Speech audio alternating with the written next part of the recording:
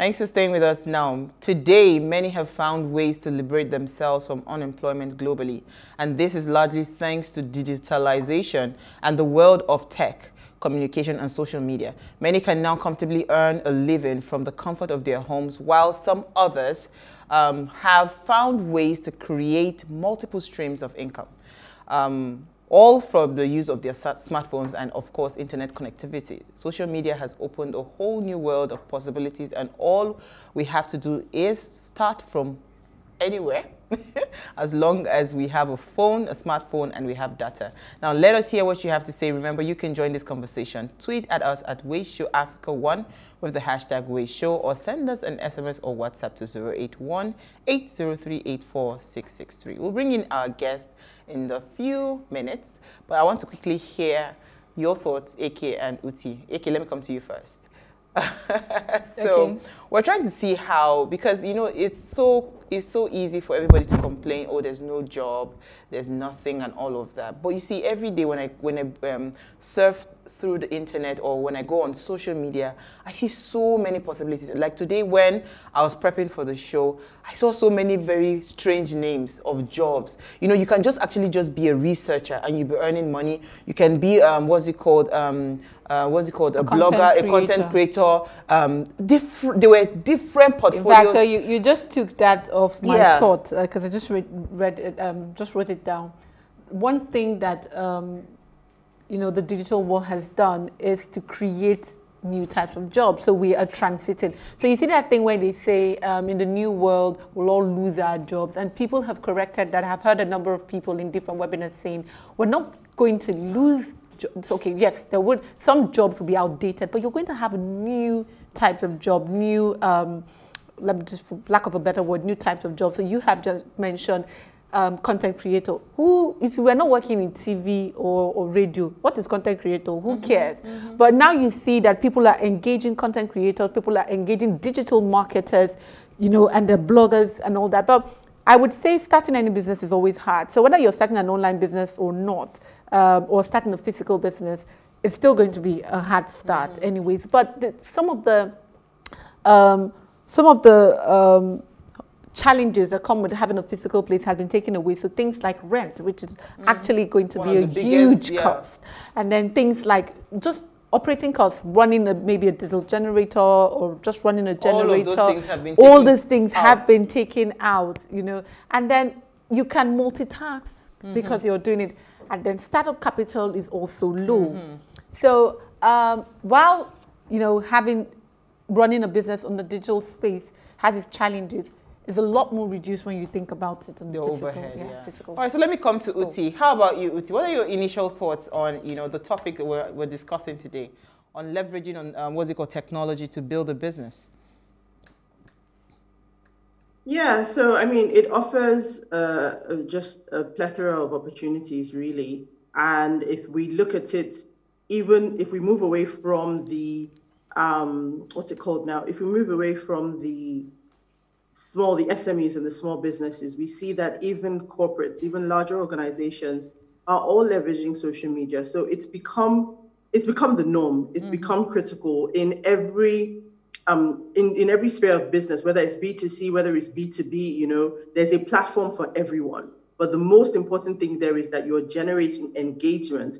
The idea is that this is where you come to find um, customers, to, to build loyalty, to drive advocacy, and to really build a community around your brand. You know, we see a lot of, you know, take the beauty industry, we see lots of global brands, even our local Nigerian brands that have developed a huge following. Mm-hmm. Um, there's a particular brand out of Dubai, and it has built a following across the world, all from social media between Instagram and YouTube, mm-hmm. and it's now a household name in the world of makeup. So you can't afford to ignore social media, whether it be on a personal level or on uh, on a on a business level because the truth is that's the direction in which the world is going technology and being able to put your brand out there whether it's your personal brand or your business brand it's the way forward it's the place to be Absolutely. Exactly. All right, so I'll just bring in our guest. Lanre Basamta is a technology and marketing communication expert of almost two decades. His deep passion for strategy, technology, communications, and marketing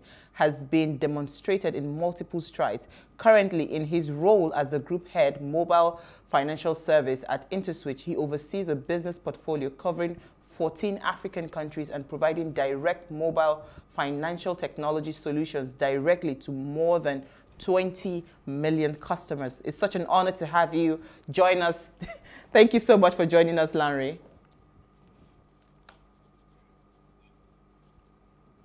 Um, I think his mic needs to unmute. Ma Lanre, are you there? Yeah, my mic is uh, unmuted. Oh, okay. Thank yeah. you. We can hear you now. Thank you so much for joining us. We know you're in transit, but you had to take out time to talk to us. So um, it, it, was important that we thought to bring in an expert, you know, when talking about these things. Now, we are targeting young people in Nigeria, and that's the essence for why we are here on the show. And um, I know that in terms of, um, especially with COVID-19, a lot of people are losing their jobs. A lot of people are, you know, going in and out of uh, employment and all of that. But we know that there's a huge market in the digital space. There's a huge market, the, and there's a huge, um, what's it called, like Utia said, plethora of opportunities for people to actually build businesses from scratch and just uh, and, and it has also the ability to scale. So maybe in your introduction, you know, what do you think um, would be the starting point? If I say today I want to take on a business and leverage social media to start up something, how should I even go about it? Um, I, I, think the best, um, perhaps the most helpful way for me to start is to talk about the incredible value of human beings. Um, we don't pay attention to it because um, as social beings, we take for granted the fact that um, I mean, we'll deal with humans every day of our lives. But the truth is, the most valuable resource in the world are humans. And um, if you start from that premise, then you can imagine how strategic and helpful social media can be. I mean, today, and since all of creation, social media is the largest convergence of human beings in the world. So imagine that crude oil is the most valuable resource in the world, and you are sitting on maybe a thousand or a million acres of the most crude oil rich uh, piece of real estate in the world. You can imagine how rich mm-hmm. or how, yeah, how successful you're going to be. I mean, that's what social media gives. So the first thing I would say people should consider is that human beings are very valuable. And however way you're able to converge them, particularly with social media, it means that you're starting well.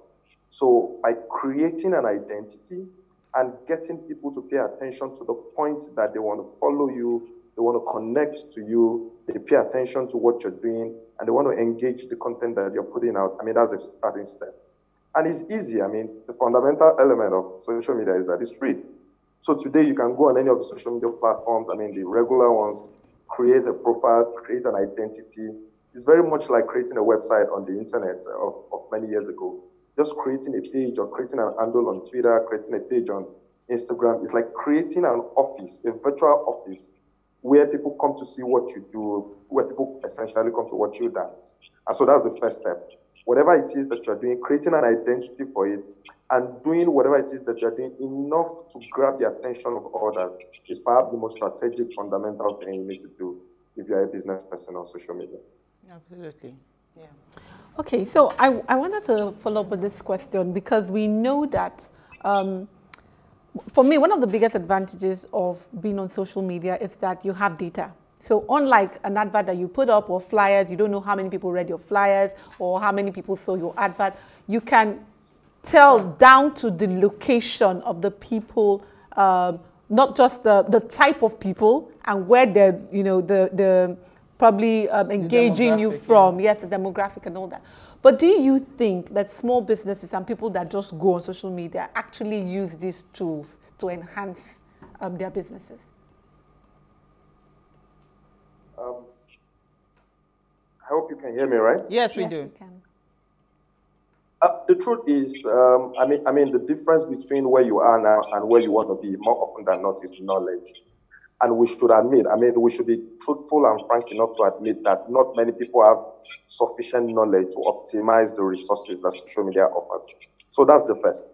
But the truth is, today, more now than ever before, we have the widest or the highest numbers of young entrepreneurs making the best of social media than they ordinarily would have done. I mean, today we see a lot of uh, comedians, a lot of small business owners, shoemakers, wristwatch resellers, people using the value, the network, the opportunities that social media offers to build an enterprise. And so fundamentally, I, I can say confidently that today uh, uh, there's a whole lot more people using social media, deploying all of the knowledge that they have uh, to, to, to optimize. That, that, that's the first comment I'd like to make.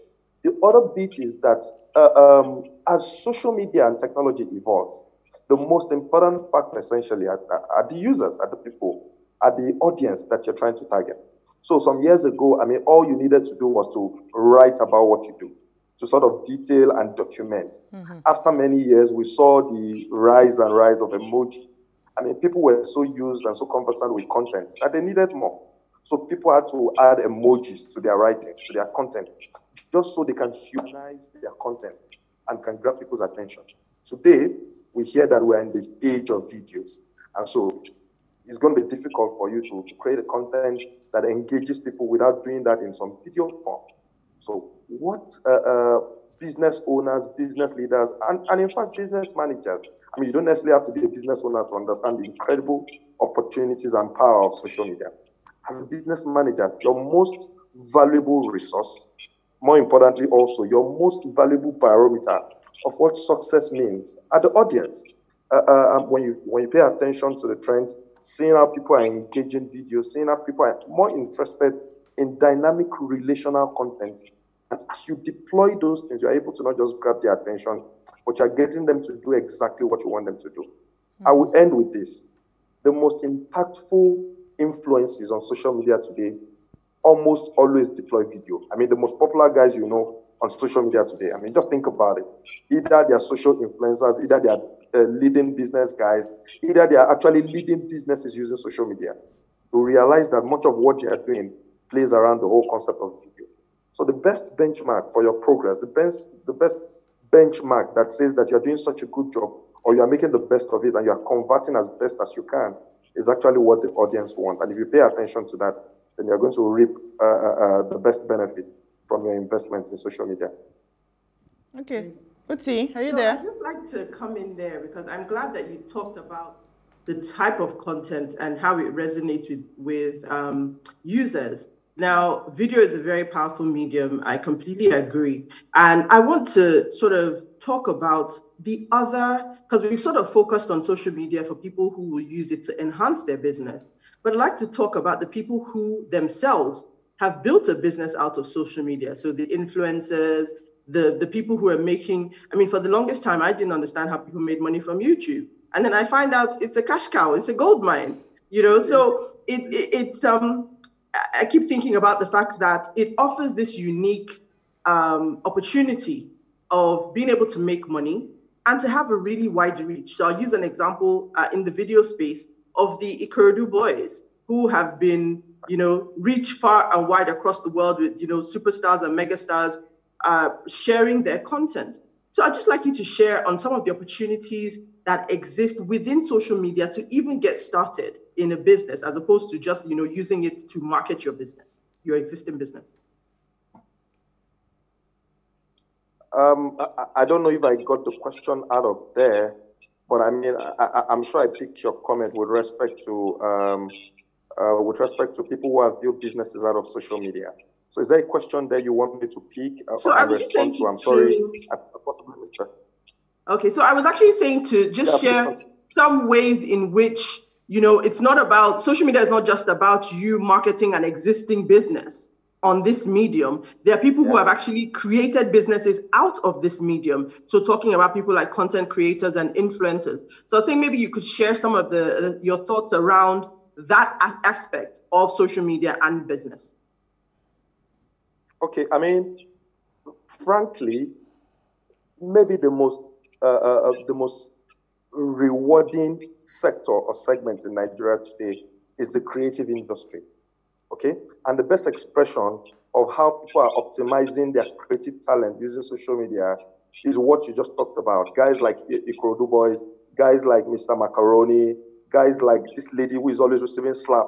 in all of our videos. The truth is, the fun, yeah, Tao, God bless you. The fundamentals of business is offering value to customers. Mm. I mean, that's essentially what it is. In fact, if you remember what we're taught in SS1 about what money is, he said money is a representation or representative of value. So what you call money today is what you get when you exchange value.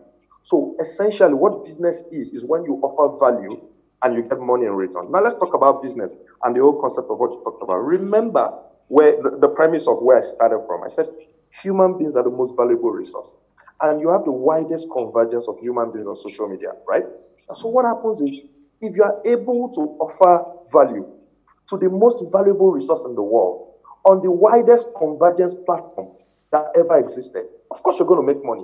Mm. And so you find that people, particularly creative people, they found beautiful ways to offer, I mean, beautiful but unusual ways to offer value to these incredible audiences and they're making money off it. I mean, you talked about YouTube. Before, we always thought about business in the sense of offering a particular service or selling goods. That's what we're taught in economics. I mean, that remains true today. But in our world and in creative world uh, that, that we all belong to now, what value represents is very, very fluid. Mm-hmm. So value to people on social media could just be grabbing their attention. I'm not even talking about making them smile. I mean, one of the most difficult jobs in, this part of the world is making people smile, knowing that things are not very, very smooth. So I'm not even talking about making people smile or laugh. I'm saying even grabbing the attention of people in our extremely busy, chaotic, and distracted world is a lot of value. I mean, what do you think an MC or a compare is doing in an event? What do we call anchors? They are grabbing the attention of people. So why do we pay anchors 1 million, 2 million at events? And why do we find it difficult to pay, I mean, social influencers online? is because just as an anchor is able to get the attention of the audience at an event, in the same way, people, creative people, or social influencers, or people are able to create uh, uh, what we now today call internet business, creative internet business, like comedies, like skits, like uh, uh, jokes, like edits. They are able to grab people's attention to the point that uh, uh, advertisers, businesses consider it valuable, and they give them a lot of money to help them amplify their brand. So it's, a, it's I mean, it's a very interesting way to to not just uh, uh, earn money, it's a very interesting way to build your brand and to build it in a sustainable way. Okay, so when we return, I have a question in line to, with what you just said, but we'll take that after the break. Please stay with us. We'll be right back.